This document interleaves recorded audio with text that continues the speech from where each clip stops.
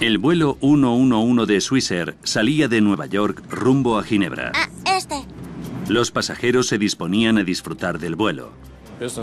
Ni los pasajeros de primera ni los de turistas se podían imaginar que algo iba mal.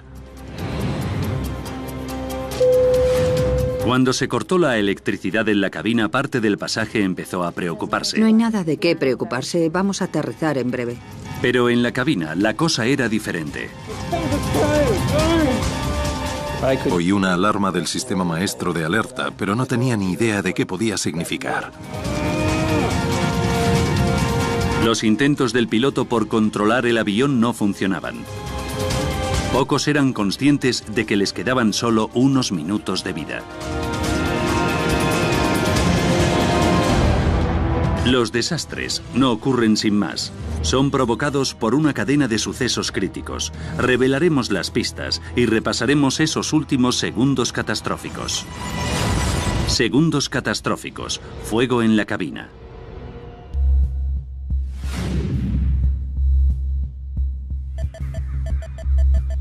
2 de septiembre de 1998. Golden's Bridge, Nueva York, 4 y 46 minutos de la tarde. Ray Romano, padre de tres hijos, se preparaba para irse de viaje de negocios a Europa. Lynn, ¿has terminado ya, cielo? Estoy terminando. ¿Ya es la hora? Ya es la hora. Le acababan de hacer socio en la empresa de contabilidad donde había trabajado toda la vida. Era un hombre bueno en todos los sentidos. Hasta la semana que viene. Llama, por favor. Por supuesto.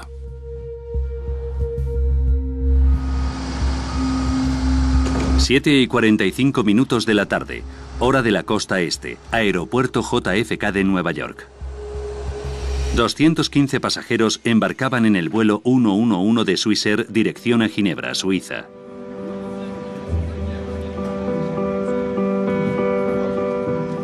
Te quiero.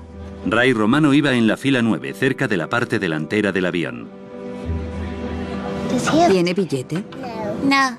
¿Se va a sentar contigo? Sí. Pues muy bien.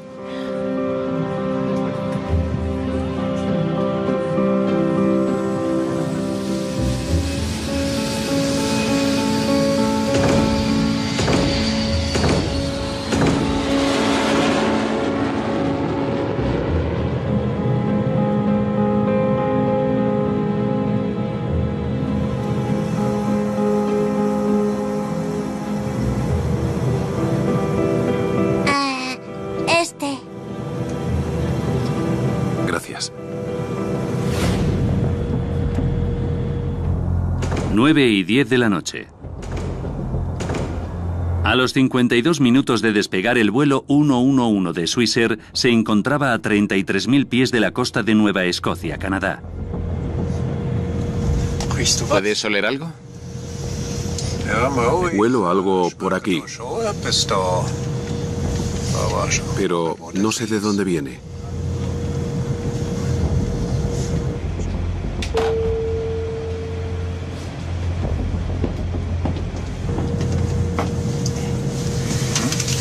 ¿Va todo bien?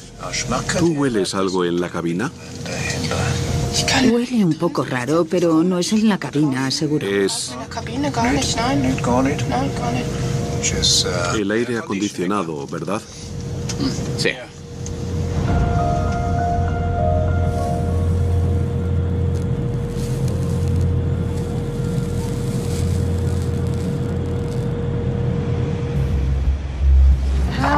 ¿Y si pintas el cohete? Voy a pintarlo de rosa y morado. Gracias, perfecto.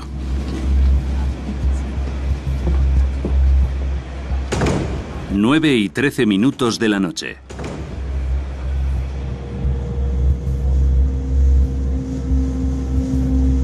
¿Tienes planes familiares? Vamos a salir a navegar al lago Zurich. Estupendo.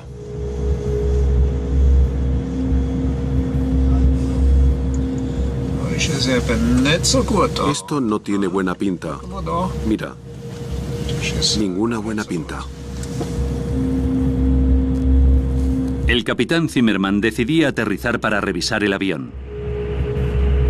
Swissair 111. Emergencia pam pam pam. Tenemos humo en la cabina. Solicitamos regreso inmediato a ubicación conveniente, como por ejemplo Boston.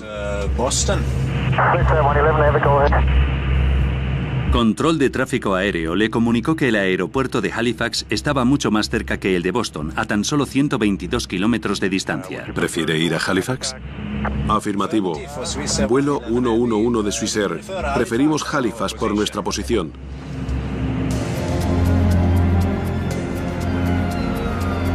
El aeropuerto se preparaba para un aterrizaje de emergencia. El humo había desaparecido. Pero los pilotos querían revisar el avión. Se pusieron mascarillas de oxígeno como precaución e iniciaron el descenso. El capitán ha activado la señal de cinturones de seguridad. Tenemos un problema con el aire acondicionado que tiene que ser reparado antes de continuar el vuelo. Nos vamos a desviar al aeropuerto de Halifax, Canadá.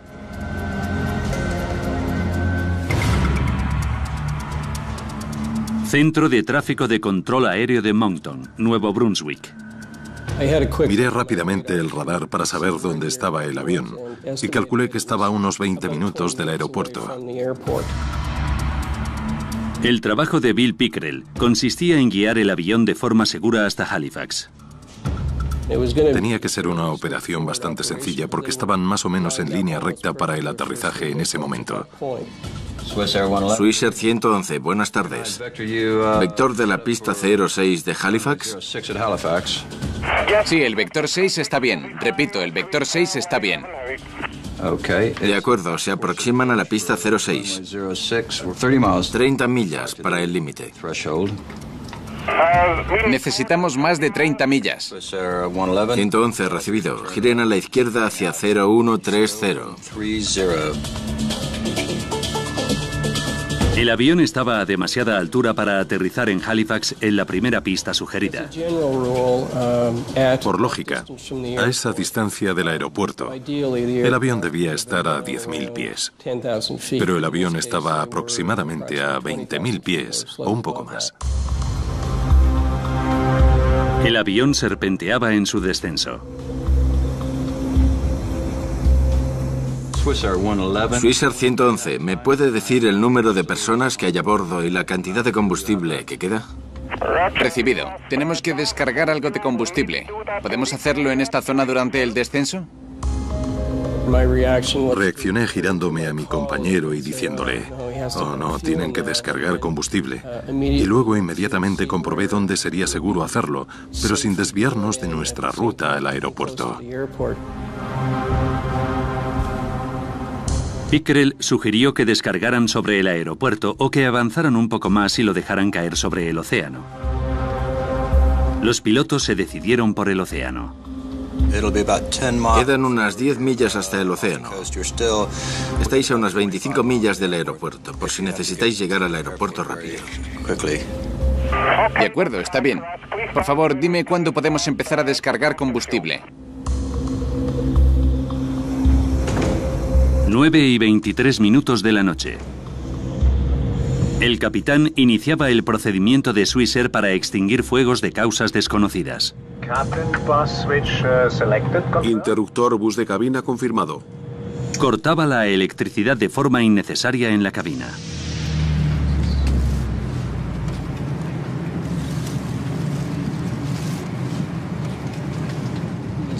Perdone, ¿deberíamos preocuparnos? No hay electricidad y el aire acondicionado se ha apagado. No, no, el capitán nos ha asegurado que no hay nada de qué preocuparse. Es solo el procedimiento normal para un aterrizaje, de, emergencia. No hay de qué preocuparse, aterrizaremos en breve. ¿Puede abrocharse el cinturón, por favor?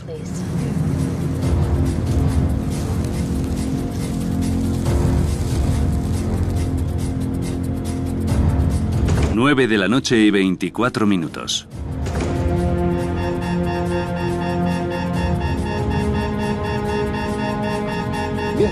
Hemos perdido el piloto automático. El piloto automático ha desaparecido. Dios mío, Estefan, tenemos un incendio. Declara emergencia, declarando emergencia. Swissair 111. Recibido. Dios mío. El avión estaba por lo menos a seis minutos del aeropuerto.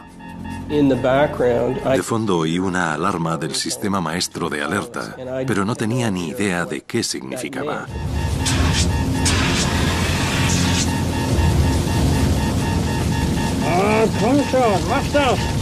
Vuelo 111, vamos a empezar a descargar. Tenemos que aterrizar inmediatamente. Swissair 111, recibido.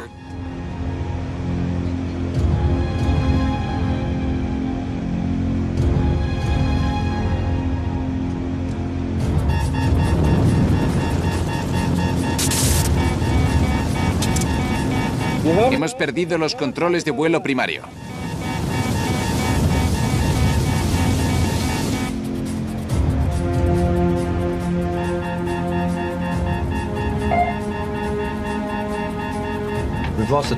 Hemos perdido el transponedor. Swissair 111, adelante. Se perdía toda comunicación con el avión. Swissair 111, adelante. Los controladores de tráfico aéreo solo podían seguir su rastro en el radar. Swissair 111, adelante. Vimos que el avión se había alejado del aeropuerto y que iba hacia el oeste. Y fue entonces cuando me di cuenta de que algo iba terriblemente mal.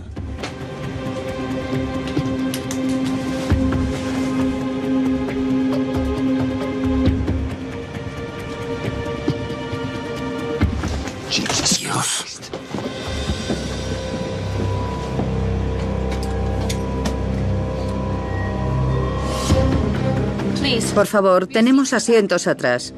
Vayan allí. Mis compañeros les ayudarán.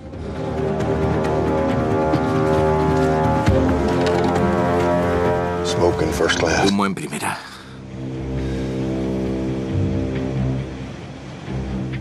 Durante seis minutos, Bill Pickrell observó la errática trayectoria del avión. Me sentí muy impotente porque no podía hacer nada para ayudarles. Nueve y media de la noche.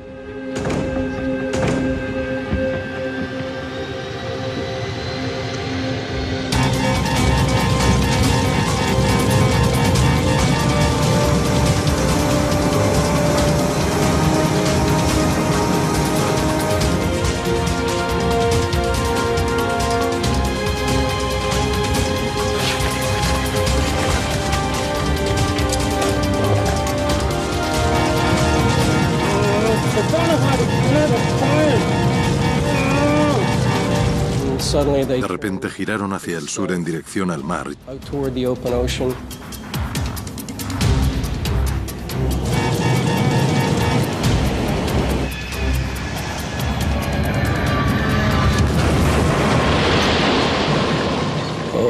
Y el avión desapareció. Dios mío, creo que lo hemos perdido. Creo que lo hemos perdido. Swissair 111, adelante. Swissair 111, adelante. Dios mío.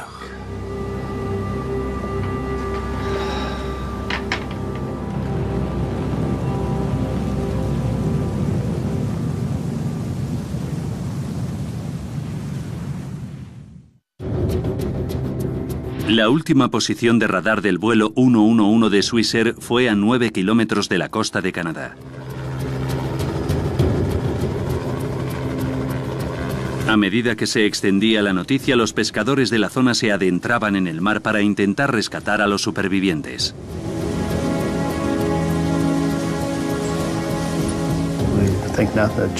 En cuanto nos enteramos, nos subimos a nuestros barcos por la noche y fuimos a ayudar en todo lo que pudiéramos. Es lo natural. Wayne Manuel tardó una hora en llegar al lugar.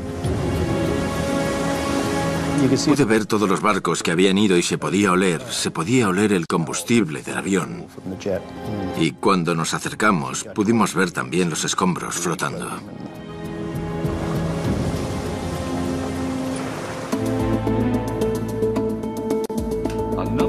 A 865 kilómetros de distancia en Goldens Bridge, Nueva York, Lynn Romano escuchaba las noticias. El piloto comunicó por radio que había humo en la cabina antes de que el avión desapareciera del radar a una altitud de mil pies. Intentó hacer un aterrizaje de emergencia en Halifax. Vi que había habido un accidente de avión y eso siempre me pone los pelos de punta. Así que me persigné porque quería rezar por esa gente, estuvieran vivos o muertos. Era un vuelo que iba de Nueva York a Ginebra. Tom, cuéntanos qué puedes ver y oír desde donde estás. Cuantas más noticias veía, más me daba cuenta de que era su vuelo. Toda la tarde han estado llegando vehículos de emergencia a la costa en espera de posibles supervivientes. Llamé a todos los números de teléfono de emergencia y les dije, su vuelo era 111 de Swissair y su asiento el 9F. Tengo toda la información aquí. Alguien tiene que confirmarme si iba en ese vuelo. ¿Ha sido el vuelo 111 de Swissair? Sabía que iba en ese avión.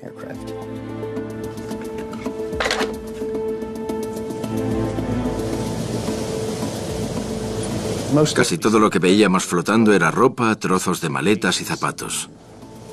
Y solo en un momento dado, pasamos al lado de un trozo de avión que tenía unas seis ventanas. Y creo que esa fue la parte más grande que vimos. Wayne esperaba encontrar supervivientes. Siempre tienes esperanza, pero estando allí y viendo todos los restos, te dabas cuenta de que no quedaba nada y de que no había supervivientes.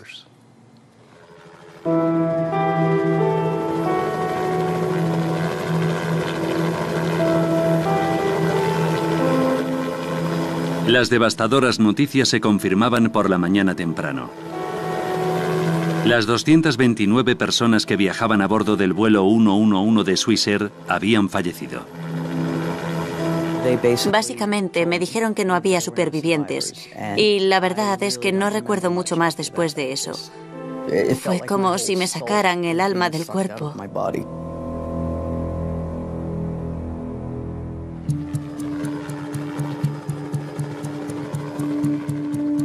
La Junta de Seguridad del Transporte de Canadá iniciaba una investigación. Larry Vance era el responsable adjunto. Tenía 31 años de experiencia como piloto y 14 como investigador de accidentes aéreos. Su punto de partida era la cinta de control de tráfico aéreo. Teníamos bastante información prácticamente desde el principio, porque sabíamos que el avión se había incendiado y que los pilotos intentaron sofocar el incendio. Pero lo que nos interesaba era cómo se había iniciado el fuego, cómo se había extendido y cómo había terminado inutilizando el avión. Esa era la clave para nosotros, responder a esas tres preguntas.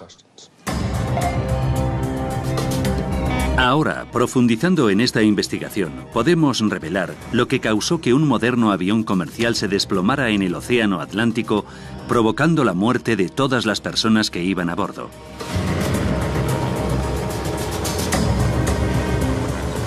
Antes de que los investigadores pudieran determinar qué había provocado el fuego en el vuelo 111 de Swissair, debían recuperar los restos. Más de 20 agencias de Canadá, Estados Unidos y Europa ayudaron a esas tareas. Los efectos personales y los restos del avión se desperdigaban a lo largo de 200 kilómetros de línea de costa. Había restos humanos. Y eso es algo muy duro. Pero los teníamos que recoger y seguir con nuestro trabajo. Solo se encontró un cuerpo intacto.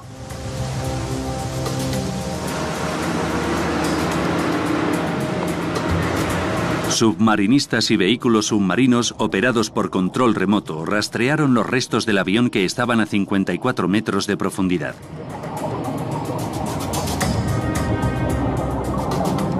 Era crítico para nosotros intentar recuperar las cajas negras, porque es donde está la información básica de lo que pasó en la cabina. Así que estábamos deseando encontrarlas.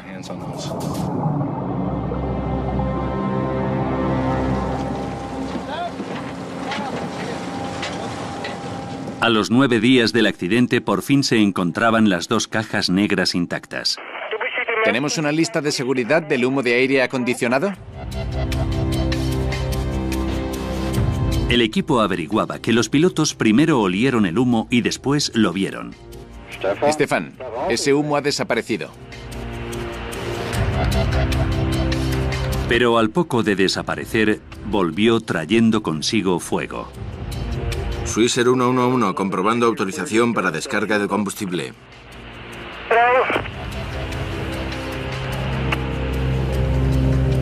Pero el equipo de investigación tenía poco más. La información de los seis últimos minutos no estaba en ninguno de los dos grabadores, así que nos desilusionamos un poco. Pensábamos que tendríamos toda la información desde el despegue hasta el impacto, pero no fue así. Las cajas negras no daban mucha información. Pero Vance estaba seguro de que los restos del avión contenían más pistas.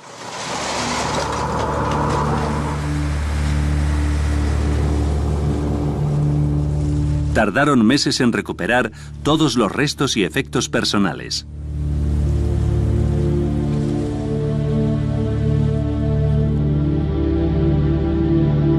Los afligidos familiares fueron invitados a recoger las posesiones de sus seres queridos. Maletas que parecía que habían sido destrozadas por el diablo. Sin embargo, había otras cosas que estaban en perfecto estado y que habían podido recoger del agua así. Lynn vio la libreta con la lista de la compra que su marido había escrito esa misma mañana. El hecho de que su libreta estuviera allí y que yo pudiera leerla y que hubiera revistas intactas, pero ninguno de los pasajeros, a excepción de uno, me hizo preguntar, ¿por qué? ¿Cómo es esto posible? Y me explicaron lo de la fuerza G. Y entonces deseé no haber preguntado.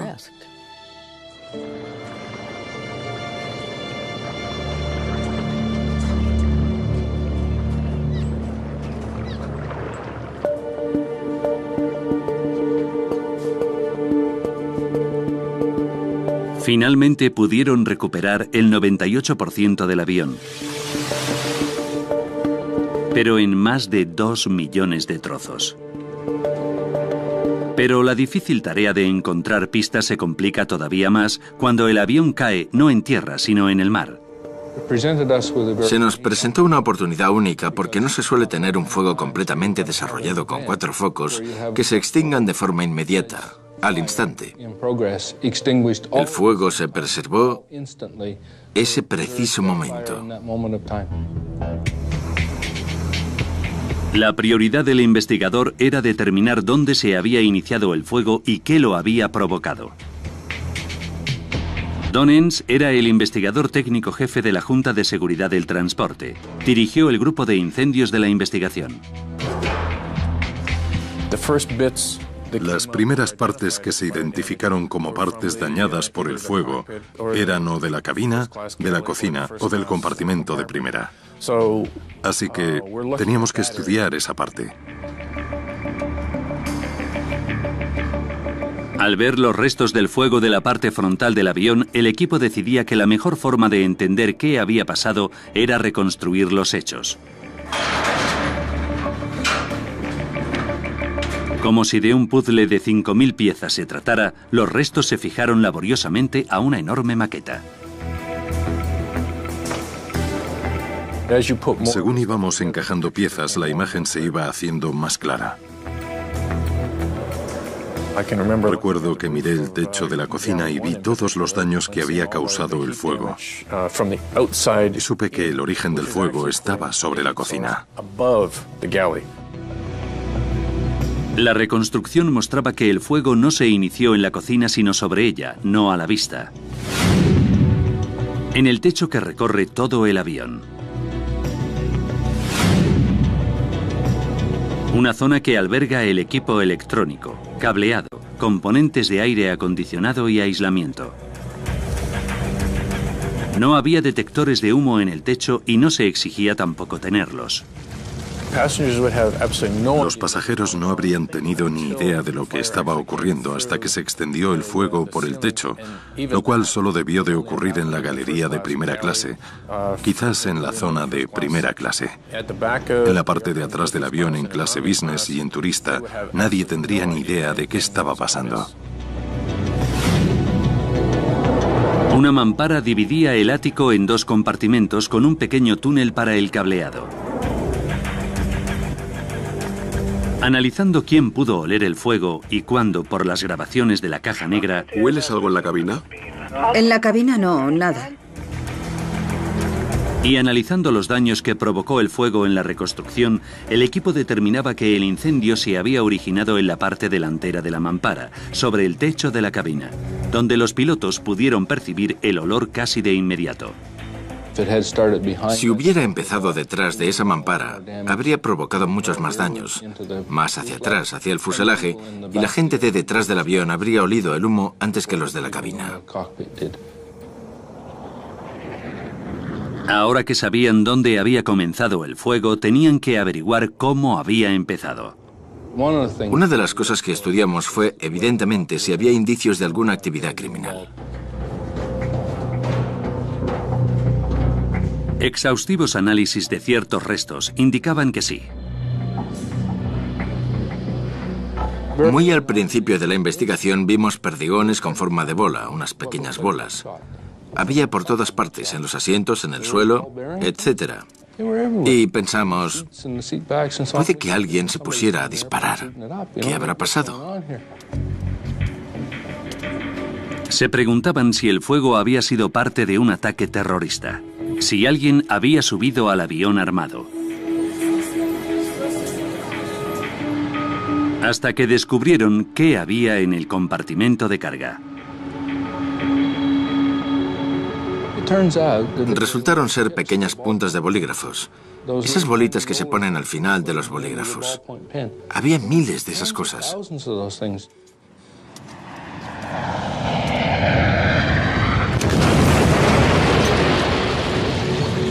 El avión chocó contra el mar con tal fuerza que las piezas de los bolígrafos salieron disparadas del compartimento de carga hacia la cabina de mando. Con la criminalidad descartada, Vance y su equipo tenían que plantearse otras posibles causas del incendio del vuelo 111 de Swissair.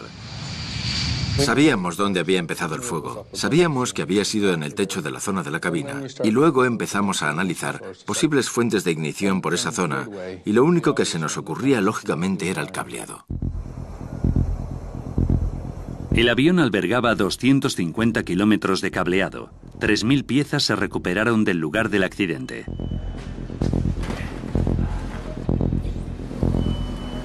El investigador de accidentes aéreos Jim Foote sabía que la tarea de su equipo era enorme. Primero tenían que intentar identificar de dónde venía cada parte de cableado. Los cables B iban básicamente de la cabina a la primera puerta. Esos eran los cables que nos interesaban. Queríamos cualquier cable que empezara por la letra B. Vamos a examinar estos cables milímetro a milímetro. El equipo de Jim buscaba aislamiento dañado o desaparecido para ver si podían encontrar el cable que había iniciado el fuego. Con cualquier cable, si la parte del cable roza con la pieza de metal, puede desgastar el aislamiento. Y si ese cable tiene electricidad, se puede producir un arco eléctrico al tocar esa estructura. Un arco eléctrico es una descarga eléctrica que se produce en un cable con corriente. Como un pequeño relámpago crea un destello de luz e intenso calor instantáneos.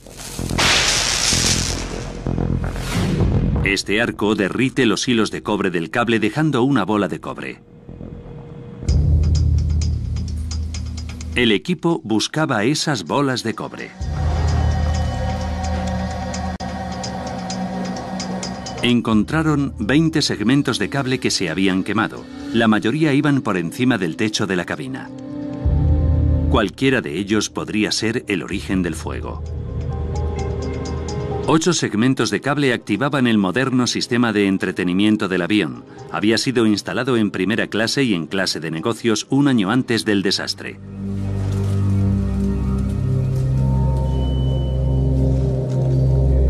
Pero a pesar de las exhaustivas pruebas, los investigadores no podían determinar qué arco eléctrico había causado el incendio. Estábamos muy desilusionados por todo el esfuerzo que habíamos hecho. A pesar de todo el material que habíamos recuperado, no conseguíamos saber cuál había sido el arco eléctrico principal.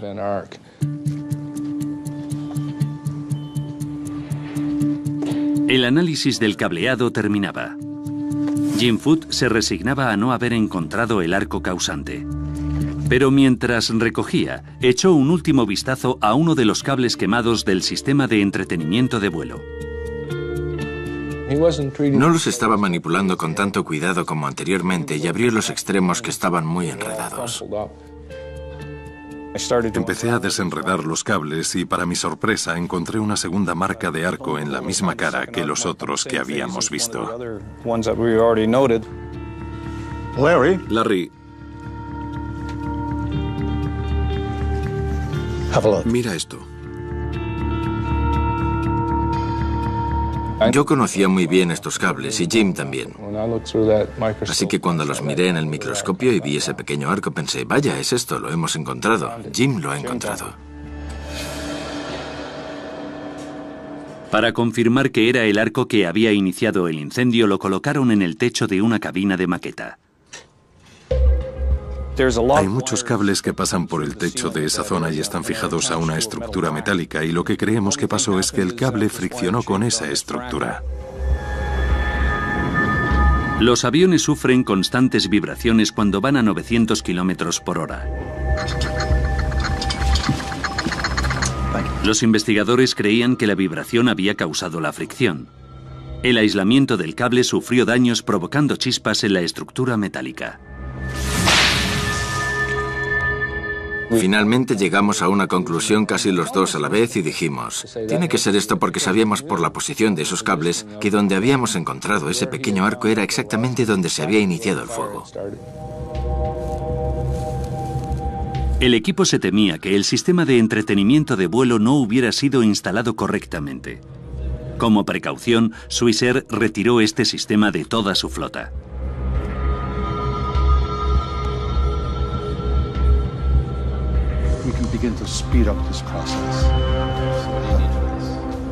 Los investigadores habían encontrado la causa del fuego del vuelo 111 de Swissair. Pero había más preguntas que querían responder. Sabían que los pilotos no pudieron evitar el fuego, pero necesitaban saber si pudieron haber evitado el accidente. Como investigadores tenemos que preguntarnos, ¿en qué circunstancias estaban estos pilotos para hacer lo que hicieron y para perder el control de la aeronave?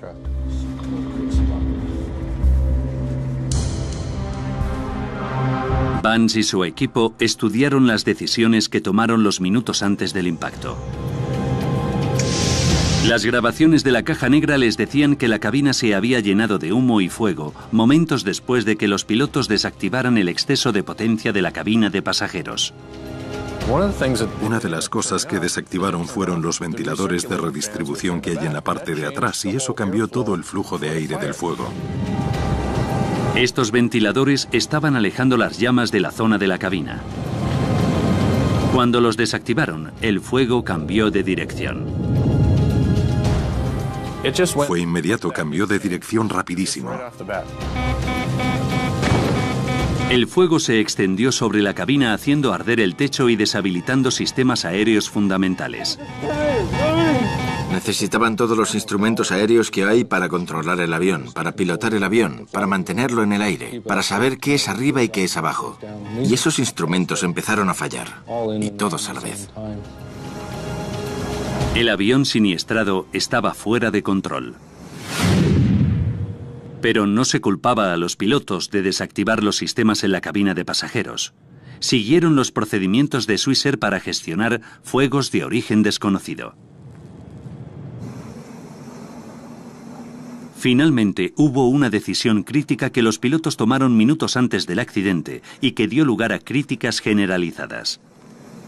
Sigue habiendo dudas sobre si los pilotos tardaron demasiado en intentar un aterrizaje de emergencia. Según las investigaciones, iban rumbo a Halifax, pero volvieron al mar para descargar combustible. La decisión de los pilotos de descargar combustible añadió minutos al vuelo. Fue un procedimiento que podían haber ignorado. El equipo de investigación quería saber si esa desviación había costado la vida de las 229 personas que iban en el avión. Entonces, ¿cuál era la altitud inicial? 33.000 pies. Calcularon que para un acceso directo a Halifax, los pilotos debían haber iniciado su descenso en el momento que comunicaron la emergencia. Pero en ese momento no sabían que el aeropuerto de Halifax era una opción. Y lo que es más, un avión en perfectas condiciones habría necesitado 13 minutos para hacer el descenso. El suyo solo fue controlable durante 10. Cuando decidieron descargar combustible no podían ya haber llegado a Halifax. Iban a chocar en algún sitio. La decisión de descargar o no combustible no fue determinante en absoluto a la hora de tener el accidente mortal. El capitán Urs Zimmermann y el primer oficial Stefan Love quedaban libres de responsabilidad del accidente del vuelo 111 de Swissair.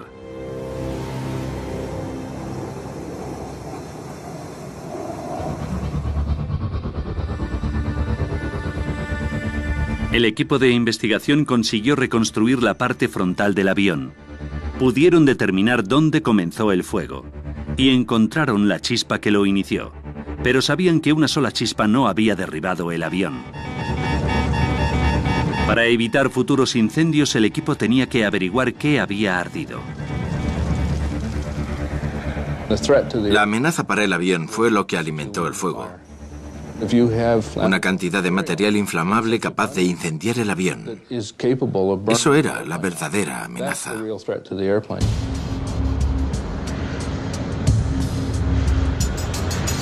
Todos los materiales de aviones estadounidenses tienen que pasar la prueba de inflamabilidad de la Administración Federal de Aviación de los Estados Unidos antes de poder ser utilizados. Pero algo en el techo del vuelo 111 de Swissair era claramente y altamente inflamable. No se me ocurre nada en esas zonas que pueda alimentar un fuego. Les llamó la atención el material metalizado que cubría el aislamiento de fibra de vidrio, comúnmente conocido como milar metalizado. Recuperamos parte de ese material de aislamiento. El milar metalizado que estaba flotando en el mar. Había trozos pequeños y tenía marcas de fuego. Indicaban que habían ardido. El Miller metalizado había sido instalado en 699 aviones registrados. Si había alimentado el fuego, todos corrían peligro. Recuperamos bastante que no se había quemado, así que cortamos un poco, lo pusimos en el suelo y le pusimos una cerilla.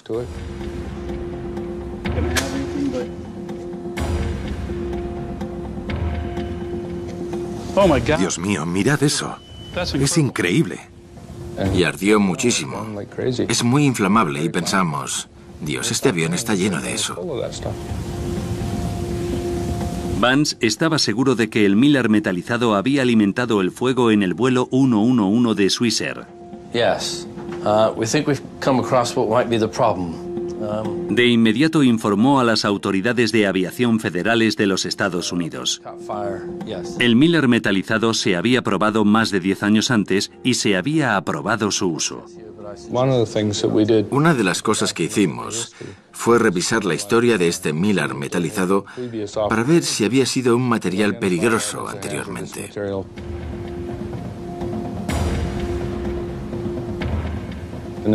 Y encontramos varios casos en que el Miller metalizado había ardido en aviones. Como resultado de estos incendios previos, el fabricante de aviones McDonnell Douglas sugirió que el Miller metalizado debía ser retirado de todos los aviones. Cuatro años antes del accidente de Swissair, las autoridades de aviación estadounidenses habían vuelto a probar el Miller metalizado y habían descubierto que era inflamable, pero no lo prohibieron. Lo cierto es que ninguno de los accidentes había causado muertes.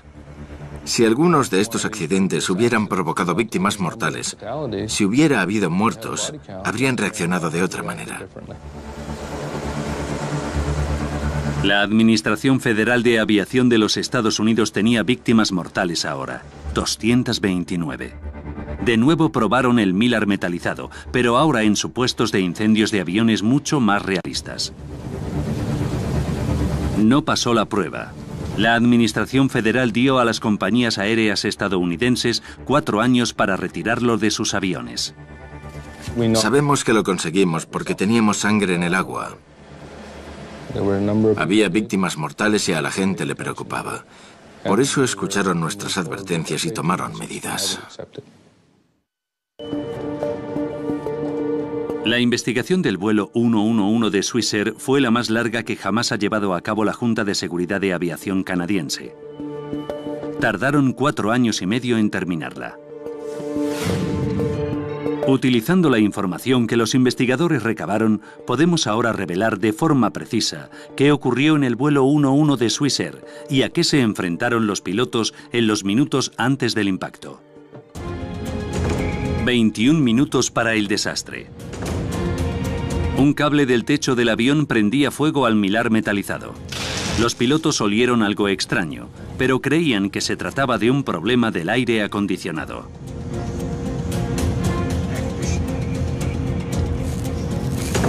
Dieciocho minutos para el desastre.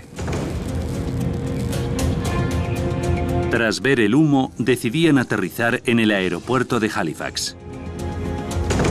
16 minutos para el desastre.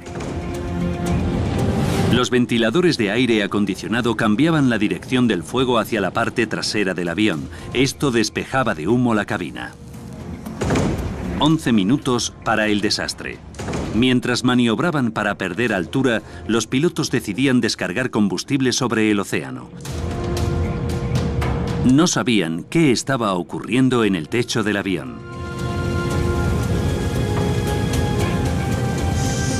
8 minutos para el desastre. El capitán cortaba la electricidad de la cabina.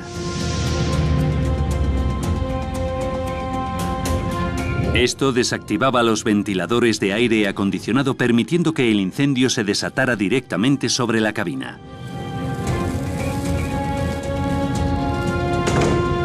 Siete minutos para el desastre. Las llamaradas destrozaban el sistema de pilotaje automático obligando a los pilotos a dirigir el avión de forma manual. Solo entonces se daban cuenta de la magnitud del problema.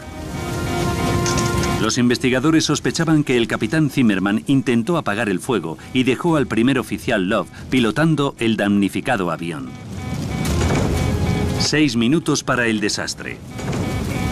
El incendio desactivaba los controles de vuelo, las comunicaciones con control de tráfico aéreo y las cajas negras. Mientras tanto, el primer oficial Love intentaba mantener el control, pero el avión estaba fuera de control.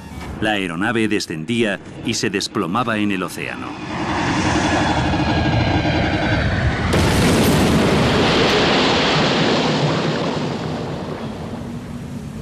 Las 229 personas que iban a bordo morían.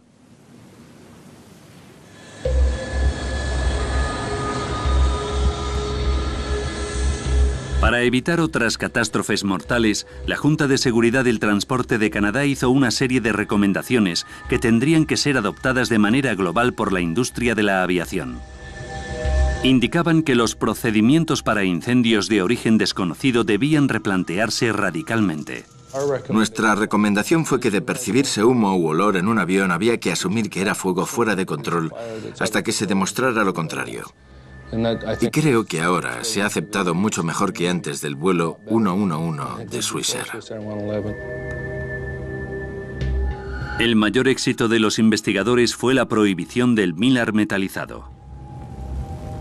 Como consecuencia de la investigación del vuelo 111 de Swissair, hay materiales que ya no se utilizan en los aviones. Por tanto, se ha mejorado mucho el trabajo y se han tomado muchas medidas de seguridad.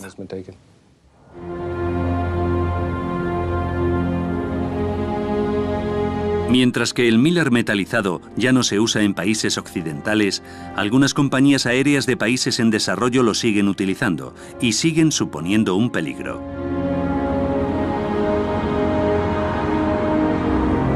Puede que el siguiente paso para hacer la industria aeronáutica más segura sea tras otro accidente trágico. Tendrá que haber otro accidente que vuelva a llamar la atención de la gente y entonces diremos, ya os lo dijimos y no lo solucionasteis. Ahora será mejor que lo solucionéis para que no vuelva a pasar. No se puede hacer que la gente cambie si no siente que tiene una responsabilidad.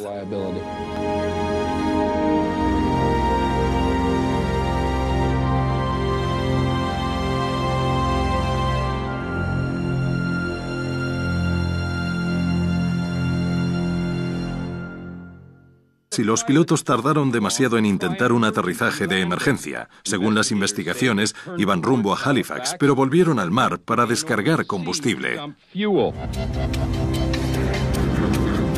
La decisión de los pilotos de descargar combustible añadió minutos al vuelo. Fue un procedimiento que podían haber ignorado. El equipo de investigación quería saber si esa desviación había costado la vida de las 229 personas que iban en el avión. Entonces, ¿cuál era la altitud inicial? 33.000 pies. Calcularon que para un acceso directo a Halifax, los pilotos debían haber iniciado su descenso en el momento que comunicaron la emergencia. Pero en ese momento no sabían que el aeropuerto de Halifax era una opción. Y lo que es más, un avión en perfectas condiciones habría necesitado 13 minutos para hacer el descenso. El suyo solo fue controlable durante 10. Cuando decidieron descargar combustible no podían ya haber llegado a Halifax. Iban a chocar en algún sitio.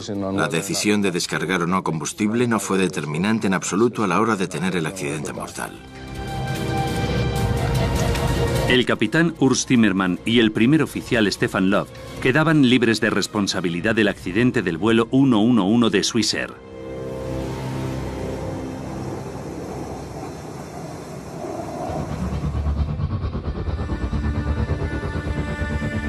El equipo de investigación consiguió reconstruir la parte frontal del avión. Pudieron determinar dónde comenzó el fuego y encontraron la chispa que lo inició pero sabían que una sola chispa no había derribado el avión. Para evitar futuros incendios, el equipo tenía que averiguar qué había ardido. La amenaza para el avión fue lo que alimentó el fuego. Una cantidad de material inflamable capaz de incendiar el avión. Eso era la verdadera amenaza.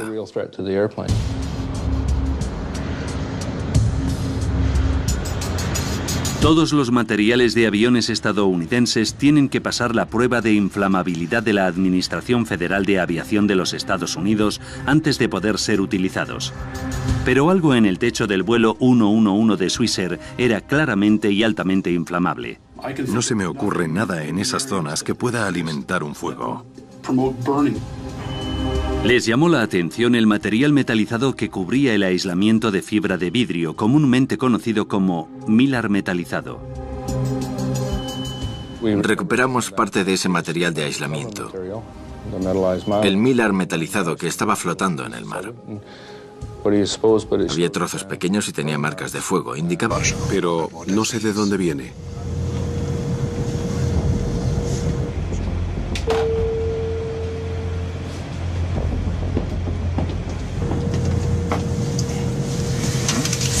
¿Va todo bien? ¿Tú hueles algo en la cabina? Huele un poco raro, pero no es en la cabina, seguro. Es el aire acondicionado, ¿verdad? Sí.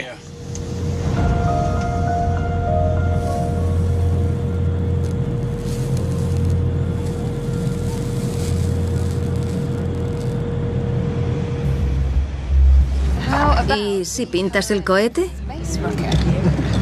Voy a pintarlo de rosa y morado. Gracias, perfecto.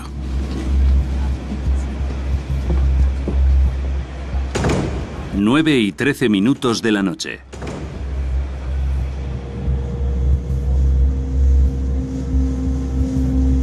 ¿Tienes planes familiares? Vamos a salir a navegar al lago Zurich. Estupendo.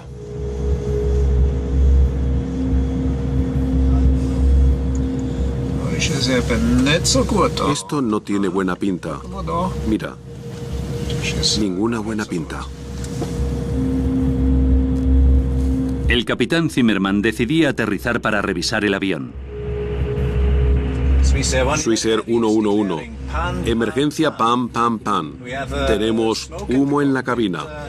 Solicitamos regreso inmediato a ubicación conveniente, como por ejemplo Boston. Control de tráfico aéreo le comunicó que el aeropuerto de Halifax estaba mucho más cerca que el de Boston, a tan solo 122 kilómetros de distancia. ¿Prefiere ir a Halifax? Afirmativo. Vuelo 111 de Swissair. Preferimos Halifax por nuestra posición.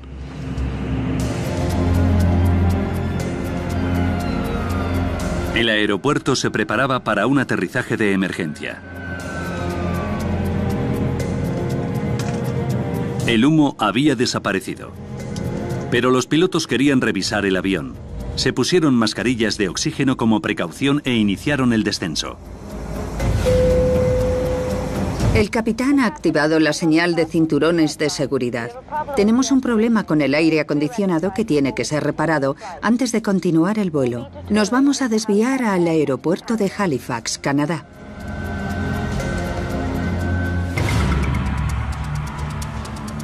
Centro de Tráfico de Control Aéreo de Moncton, Nuevo Brunswick.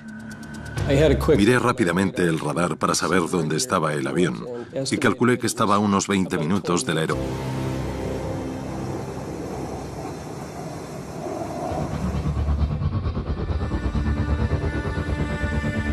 El equipo de investigación consiguió reconstruir la parte frontal del avión. Pudieron determinar dónde comenzó el fuego y encontraron la chispa que lo inició, pero sabían que una sola chispa no había derribado el avión. Para evitar futuros incendios, el equipo tenía que averiguar qué había ardido. La amenaza para el avión fue lo que alimentó el fuego. Una cantidad de material inflamable capaz de incendiar el avión. Eso era la verdadera amenaza.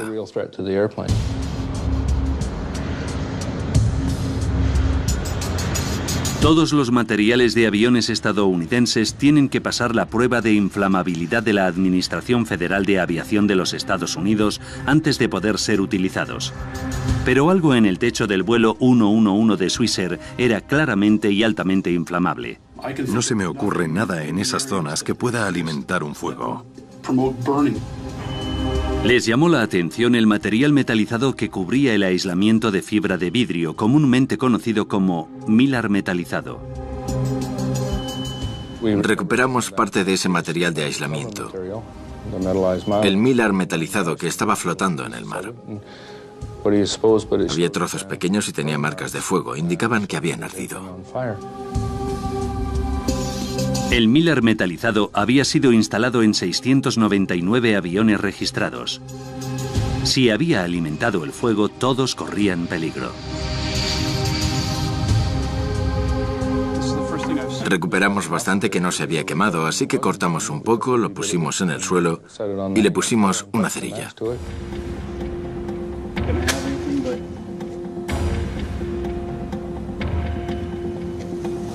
Dios mío, mirad eso. Es increíble. Y ardió muchísimo. Es muy inflamable y pensamos, Dios, este avión está lleno de eso. Vance estaba seguro de que el Miller metalizado había alimentado el fuego en el vuelo 111 de Swissair. Yes. Uh, we think we've come across what might be the problem. De inmediato informó a las autoridades de aviación federales de los Estados Unidos. El Miller metalizado se había probado más de 10 años antes y se había aprobado su uso. Una de las cosas que hicimos fue revisar la historia de este Miller metalizado para ver si había sido un material peligroso anteriormente.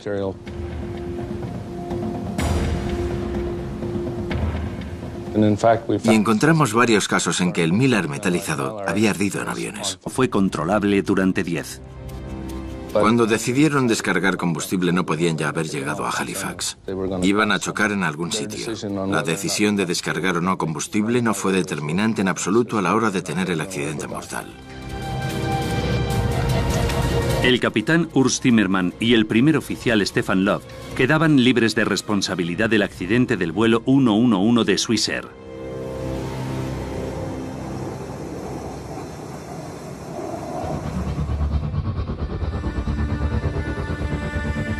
El equipo de investigación consiguió reconstruir la parte frontal del avión.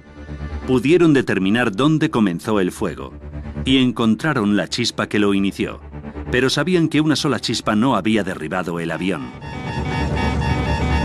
Para evitar futuros incendios, el equipo tenía que averiguar qué había ardido. La amenaza para el avión fue lo que alimentó el fuego. Una cantidad de material inflamable capaz de incendiar el avión. Eso era la verdadera amenaza.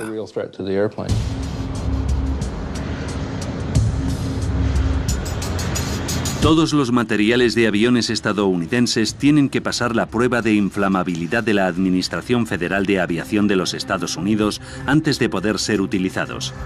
Pero algo en el techo del vuelo 111 de Swissair era claramente y altamente inflamable. No se me ocurre nada en esas zonas que pueda alimentar un fuego. Les llamó la atención el material metalizado que cubría el aislamiento de fibra de vidrio, comúnmente conocido como milar metalizado. Recuperamos parte de ese material de aislamiento. El milar metalizado que estaba flotando en el mar.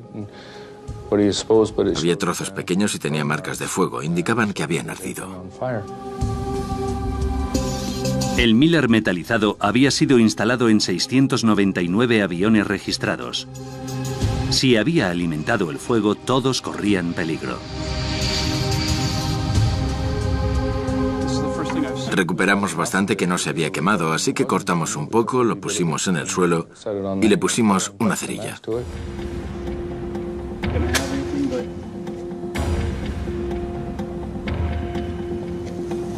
Dios mío, mirad eso. Es increíble. Y ardió muchísimo. Es muy inflamable y pensamos, Dios, este avión está lleno de eso. Vance estaba seguro de que el Miller metalizado había alimentado el fuego en el vuelo 111 de Swissair. De inmediato informó a las autoridades de aviación federales de los Estados Unidos. El Miller metalizado había sido instalado en 699 aviones registrados. Si había alimentado el fuego, todos corrían peligro. Recuperamos bastante que no se había quemado, así que cortamos un poco, lo pusimos en el suelo y le pusimos una cerilla.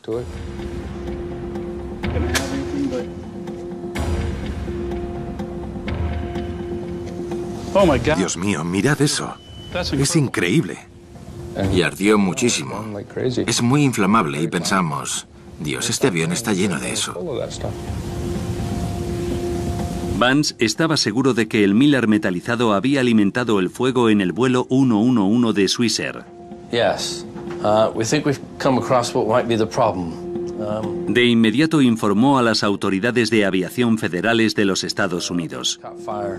El Miller metalizado se había probado más de 10 años antes y se había aprobado su uso. Una de las cosas que hicimos fue revisar la historia de este Miller metalizado para ver si había sido un material peligroso anteriormente.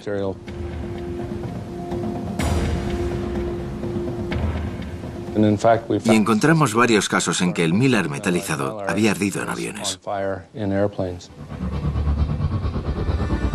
Como resultado de estos incendios previos, el fabricante de aviones McDonnell Douglas sugirió que el Miller metalizado debía ser retirado de todos los aviones. Cuatro años antes del accidente de Swissair, las autoridades de aviación estadounidenses habían vuelto a probar el Miller metalizado y habían descubierto que era inflamable, pero no lo prohibieron. Lo cierto es que ninguno de los accidentes había causado muertes.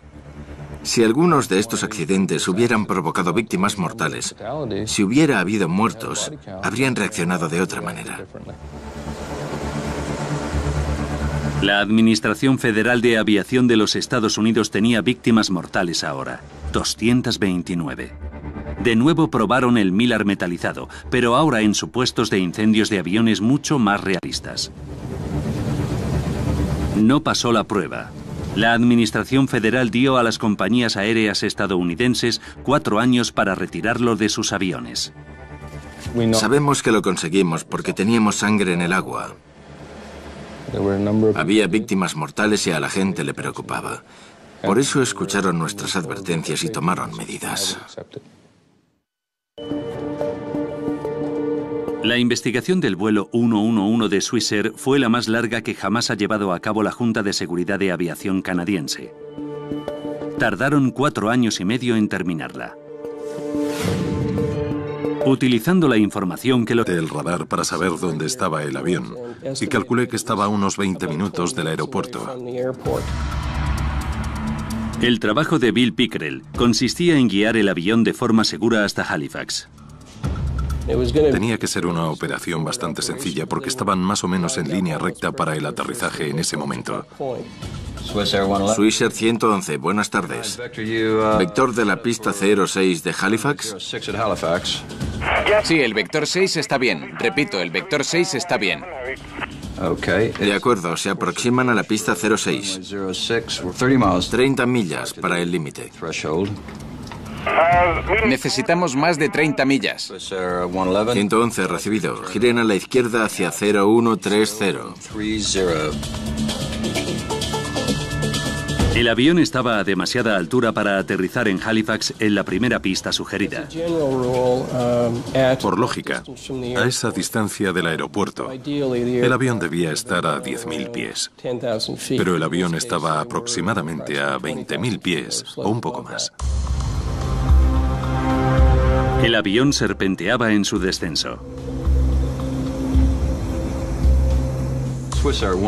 Swisher 111, ¿me puede decir el número de personas que hay a bordo y la cantidad de combustible que queda? Recibido. Tenemos que descargar algo de combustible. ¿Podemos hacerlo en esta zona durante el descenso? Reaccioné girándome a mi compañero y diciéndole, oh no, tienen que descargar combustible.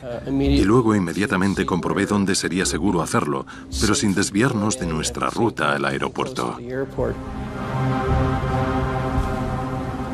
Pickrell sugirió que descargaran sobre el aeropuerto o que avanzaran un poco más y lo dejaran caer sobre el océano. Los pilotos se decidieron por el océano. Quedan unas 10 millas hasta el océano. Estáis a unas 25 millas del aeropuerto, por si necesitáis llegar al aeropuerto rápido. De acuerdo, está bien. Por favor, dime cuándo podemos empezar a descargar combustible. 9 y 23 minutos de la noche. El capitán iniciaba el procedimiento de Swisher para extinguir fuegos de causas desconocidas. Interruptor bus de cabina confirmado. Cortaba la electricidad de forma innecesaria en la cabina.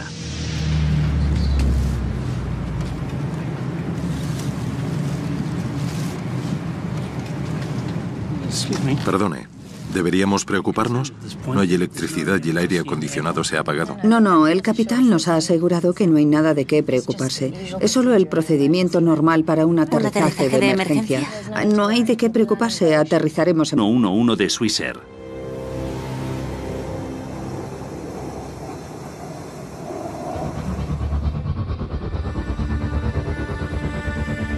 El equipo de investigación consiguió reconstruir la parte frontal del avión.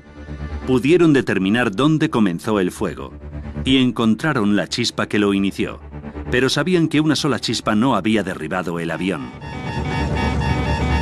Para evitar futuros incendios, el equipo tenía que averiguar qué había ardido. La amenaza para el avión fue lo que alimentó el fuego. Una cantidad de material inflamable capaz de incendiar el avión. Eso era la verdadera amenaza.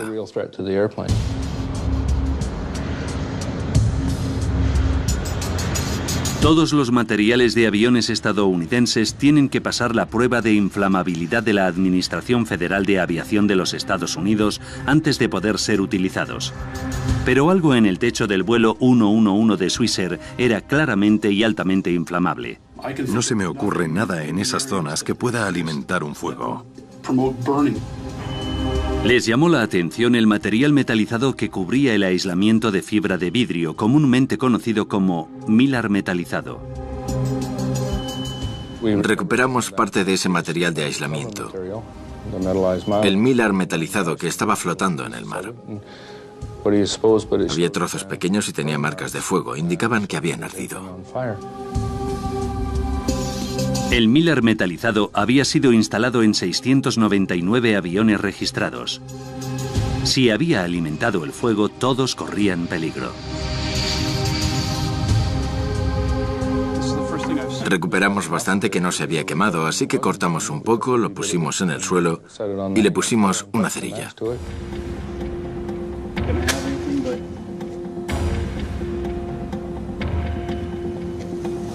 Dios mío, mirad eso. Es increíble. Y ardió muchísimo. Es muy inflamable y pensamos, Dios, este avión está lleno de eso. Vance estaba seguro de que el Miller metalizado había alimentado el fuego en el vuelo 111 de Swissair. Uh, we think we've come across what might be the problem. De inmediato informó a las autoridades de aviación federales de los Estados Unidos. El Miller metalizado se había probado más de 10 años antes y se había aprobado su uso. Una de las cosas que hicimos fue revisar la historia de este Miller metalizado para ver si había sido un material peligroso anteriormente.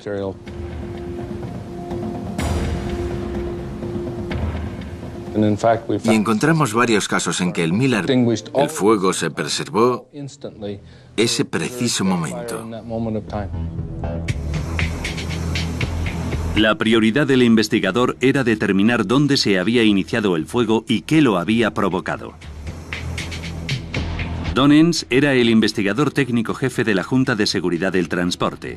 Dirigió el grupo de incendios de la investigación. Las primeras partes que se identificaron como partes dañadas por el fuego eran o de la cabina, de la cocina o del compartimento de primera. Así que teníamos que estudiar esa parte. Al ver los restos del fuego de la parte frontal del avión, el equipo decidía que la mejor forma de entender qué había pasado era reconstruir los hechos. Como si de un puzzle de 5.000 piezas se tratara, los restos se fijaron laboriosamente a una enorme maqueta. Según íbamos encajando piezas, la imagen se iba haciendo más clara. Recuerdo que miré el techo de la cocina y vi todos los daños que había causado el fuego. Y supe que el origen del fuego estaba sobre la cocina. La reconstrucción mostraba que el fuego no se inició en la cocina sino sobre ella, no a la vista. En el techo que recorre todo el avión. Una zona que alberga el equipo electrónico, cableado, componentes de aire acondicionado y aislamiento. No había detectores de humo en el techo y no se exigía tampoco tenerlos. Los pasajeros no habrían tenido ni idea de lo que estaba ocurriendo hasta que se extendió el fuego por el techo, lo cual solo debió de ocurrir en la galería de primera clase, quizás en la zona de primera clase. En la parte de atrás del avión en clase business y en turista, nadie tendría ni idea de qué estaba pasando. Una mampara dividía el ático en dos compartimentos con un pequeño túnel para el cableado. Analizando quién pudo oler el fuego y cuándo por las grabaciones de la caja negra... ¿Hueles algo en la cabina? En la cabina no, nada. Y analizando los daños que provocó el fuego en la reconstrucción, el equipo determinaba que el incendio se había originado en la parte delantera de la mampara, sobre el techo de la cabina, donde los pilotos pudieron percibir el olor casi de inmediato. Si hubiera empezado detrás de esa mampara, habría provocado muchos más daños, más hacia atrás, hacia el fuselaje, y la gente de detrás del avión habría olido el humo antes que los de la cabina. Estos incendios previos, el fabricante de aviones McDonnell Douglas sugirió que el Miller metalizado debía ser retirado de todos los aviones. Cuatro años antes del accidente de Swissair, las autoridades de aviación estadounidenses habían vuelto a probar el Miller metalizado y habían descubierto que era inflamable, pero no lo prohibieron. Lo cierto es que ninguno de los accidentes había causado muertes. Si algunos de estos accidentes hubieran provocado víctimas mortales, si hubiera habido muertos, habrían reaccionado de otra manera. La Administración Federal de Aviación de los Estados Unidos tenía víctimas mortales ahora, 229. De nuevo probaron el Miller metalizado, pero ahora en supuestos de incendios de aviones mucho más realistas. No pasó la prueba. La Administración Federal dio a las compañías aéreas estadounidenses cuatro años para retirarlo de sus aviones. Sabemos que lo conseguimos porque teníamos sangre en el agua. Había víctimas mortales y a la gente le preocupaba. Por eso escucharon nuestras advertencias y tomaron medidas. La investigación del vuelo 111 de Swissair fue la más larga que jamás ha llevado a cabo la Junta de Seguridad de Aviación canadiense. Tardaron cuatro años y medio en terminarla. Utilizando la información que los investigadores recabaron, podemos ahora revelar de forma precisa qué ocurrió en el vuelo 11 de Swissair y a qué se enfrentaron los pilotos en los minutos antes del impacto. 21 minutos para el desastre. Un cable del techo del avión prendía fuego al milar metalizado. Los pilotos olieron algo extraño, pero creían que se trataba de un problema del aire acondicionado.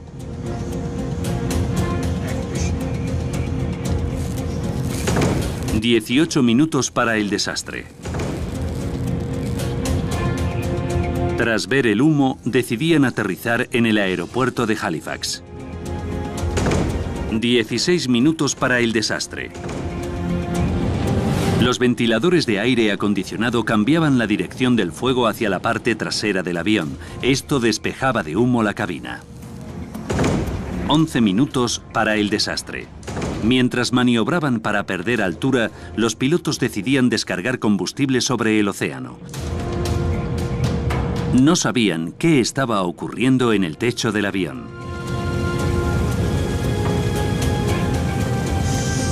Ocho minutos para el desastre. El capitán cortaba la electricidad de la cabina. Esto desactivaba los ventiladores de... La Junta de Seguridad del Transporte de Canadá iniciaba una investigación. Larry Vance era el responsable adjunto. Tenía 31 años de experiencia como piloto y 14 como investigador de accidentes aéreos. Su punto de partida era la cinta de control de tráfico aéreo. Teníamos bastante información prácticamente desde el principio, porque sabíamos que el avión se había incendiado y que los pilotos intentaron sofocar el incendio. Pero lo que nos interesaba era cómo se había iniciado el fuego, cómo se había extendido y cómo había terminado inutilizando el avión. Esa era la clave para nosotros, responder a esas tres preguntas. Ahora, profundizando en esta investigación, podemos revelar lo que causó que un moderno avión comercial se desplomara en el Océano Atlántico, provocando la muerte de todas las personas que iban a bordo.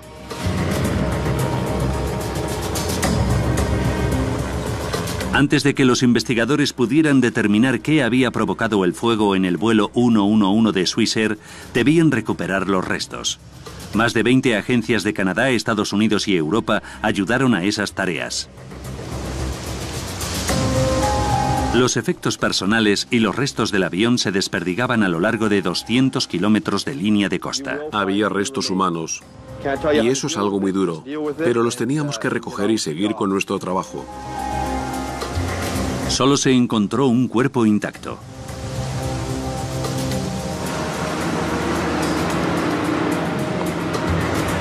Submarinistas y vehículos submarinos operados por control remoto rastrearon los restos del avión que estaban a 54 metros de profundidad.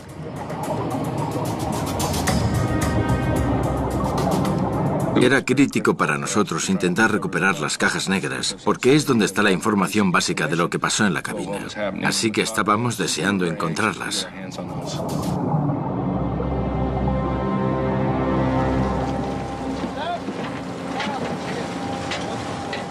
A los nueve días del accidente por fin se encontraban las dos cajas negras intactas. ¿Tenemos una lista de seguridad del humo de aire acondicionado? El equipo averiguaba que los pilotos primero olieron el humo y después lo vieron. Estefan, ese humo ha desaparecido. Pero al poco de desaparecer, volvió trayendo consigo fuego. Swisher 111, comprobando autorización para descarga de combustible.